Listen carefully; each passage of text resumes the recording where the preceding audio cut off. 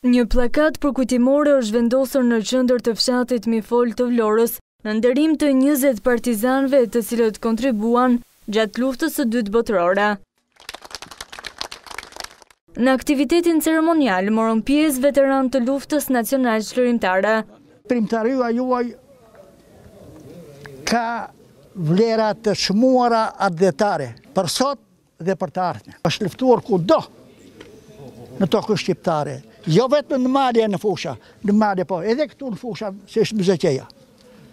Prandaj kjo tregon madhështinë e luftës antifashiste nacionalçlirimtare që nuk mund të zbehet kurrë. Populli ynë, në gjithë historinë e tij ka luftuar më shumë se popujt e tjerë. Por kjo luftë ishte dhe do të mbetet më legendarja në histori, e cila mundësoi këtë Shqipëri që ne kemi sot. Në qoftë se s'do të kishte luftuar, Shqipëria do të ishte shpërbërë.